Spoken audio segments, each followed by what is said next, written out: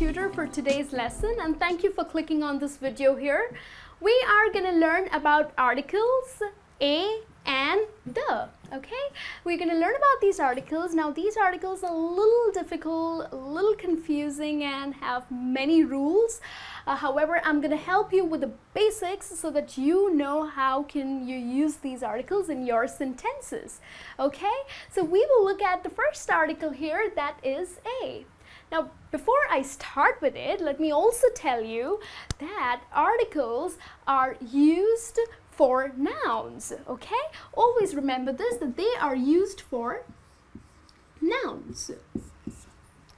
Okay, so let's look at a sentence here and then I'll explain you what exactly this article is.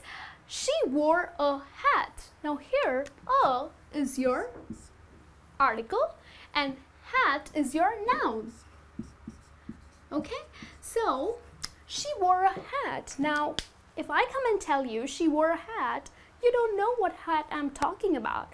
Maybe it's a pink hat or maybe it's a round hat. So nothing in particular that I'm talking about. So it's just a general idea that she wore a hat. So nothing is definite. So basically a uh, or a is your indefinite article okay it is known it is also known as your indefinite article so that is when you are not talking about something specific, just in general.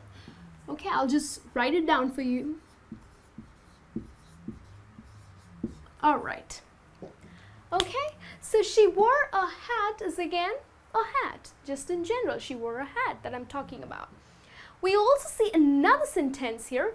I saw a star in the sky last night. Now here is your article and star is your noun. Okay, remember this. Star is your noun. There are millions of stars in the sky, right? So here we are using I saw a star. Just nothing in particular, but I just spotted a star. And that's why I'm telling it to you. So it is an indefinite article here. All right. Another thing that I would like to tell you about this article is that it is used for a singular noun. Okay, I'll write it down. It is used for a singular noun.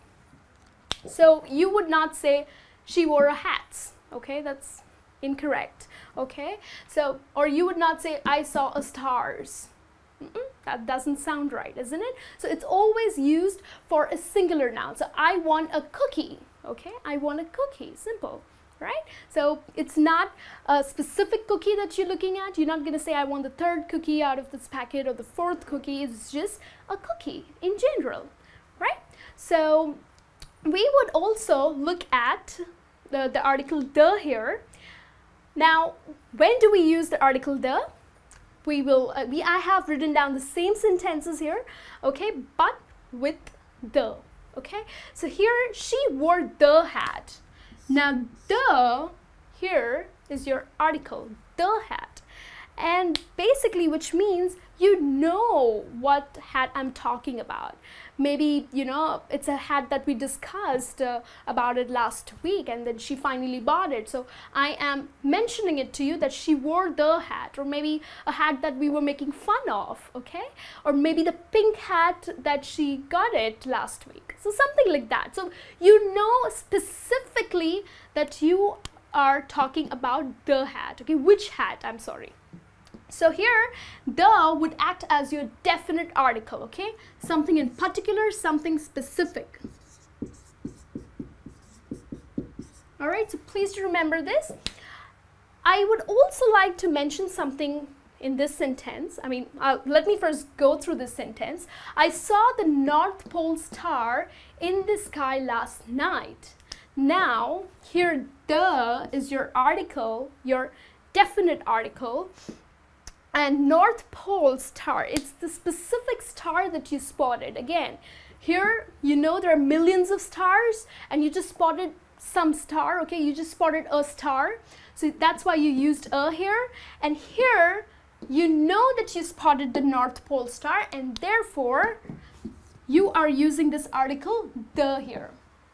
Now if you notice in both these sentences we are using the here also, right? The. Now why? I'll tell you. I saw a star in the sky last night. How many skies do we have? 10? 11? No, there's just one sky, right? Just one sky in this universe. So, sky here is acting as your noun and the is the article because you know that you spotted the star, a star in the sky. Okay, so I hope you are clear with this. You know when to use a. A will be used when you do not have an idea about a thing, okay? It's just in general that you're talking about, whereas the you would use it when you know what you're talking about, particularly if you're talking about something, you know it, and that's exactly when you use the article the. So now let's look at uh, the article an. Alright, so now let's look at the article an. Just like the article a and the article the, how they are used for nouns.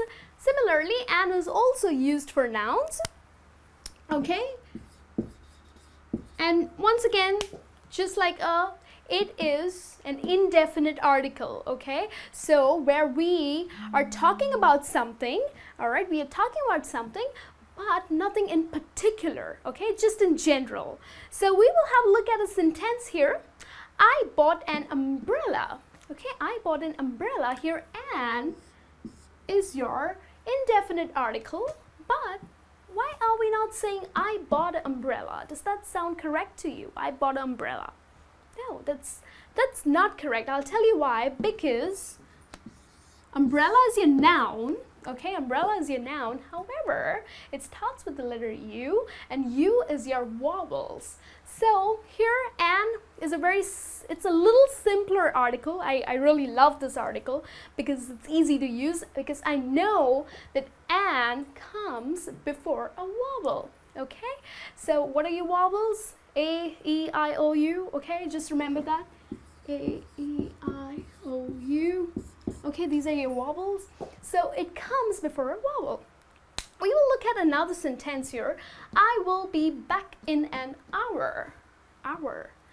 Okay, and is again your article, indefinite article. Here, well, you would say that's not a vowel. However, it is pronounced as hour, right? The H is silent here, so that becomes your vowel sound. So always remember that an would come before a vowel or a vowel sound. Okay, so here, another sentence if you want. Uh, I am a honest person? No, right? It would be I am I am an honest person. So again here H is silent. So honest. Now honest is your vowel sound and that's why you are using I am an honest person.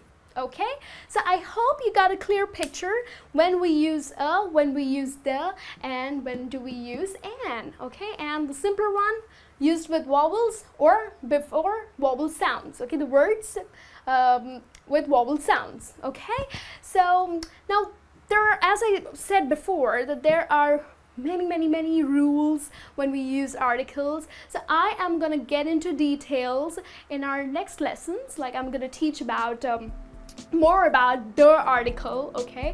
And uh, we will we will learn about the exceptions about all the rules. So please do subscribe our channel. And of course for this lesson if you have any questions or queries do write into us and I will answer it all. Till then you take care and have a great day